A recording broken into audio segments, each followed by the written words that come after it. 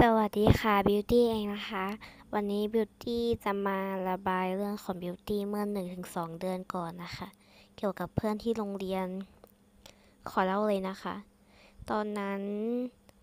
เป็นตอนที่เรียนวิชาหน้าที่อยู่ค่ะ ก็กำลังนั่งเรียนกันปกติ แล้วเพื่อนที่อยู่ข้างหน้าขอ เรียกสั้นๆว่าขอไข่ละกัน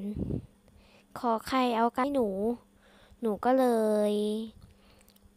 ความจริงกระดาษมันเป็นกระดาษว่า ให้จิ้นใครที่สุดในห้อง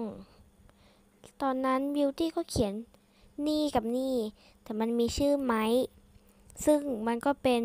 ตัวไม้มาลัยมอม้าคอควายกาลันใช่ไหมชื่อคุณ ใช่ไหมล่ะ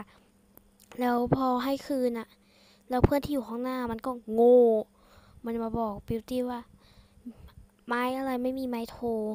บิวตี้ก็ไม่ได้คิดอะไรมากนะคะ ผ่านไปเป็นสิบยี่สิบนาที เพื่อนที่อยู่ข้างๆอะ มันก็แบบเป็นคนขี้ฟ้องไงคะหมายถึงข้างๆอีขอไข่อะค่ะ เพื่อนที่อยู่ข้างๆอีขอไข่ มันก็บอกว่า